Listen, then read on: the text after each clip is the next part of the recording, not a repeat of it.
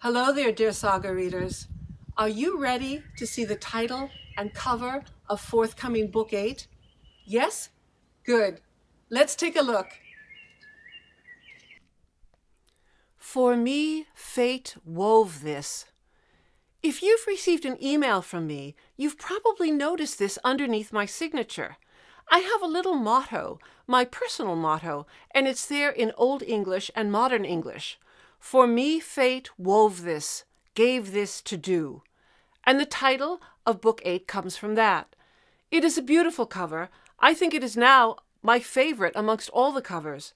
It was designed by Michael Rohani of Design for Books in Washington State. He has done every saga cover for us. As I did for Wildswept, I'd like to read to you what I wrote to Michael when I described to him what I envisioned for this cover.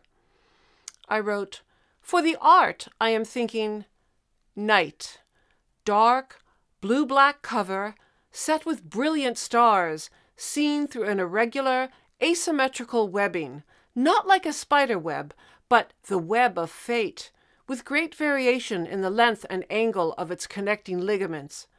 The webbing itself should look like strands of spun yarn. One strand is conspicuously broken, snapped short. Against the starlight, and possibly a moon up there as well, a large raven in flight, perhaps a really large raven. So ponder this. I think it could be incredibly dynamic and, of course, dramatic as well. I think once again he has realized my vision with great beauty and immediacy, and I'm so grateful to Michael for his talent and our long association with these books. This novel has received an overwhelming response from the very small group of first readers who have read it, and I'm correspondingly grateful to them. It will soon be ready for pre order, and I hope it is in your hands in late June or early July. Nano Nagle in London is working on her audio performance of it, and my hope, as always, is to have a simultaneous worldwide release of ebooks, print, and audiobooks, and that is what we are working towards. I will certainly keep you up to date on that and let you know when you can pre order.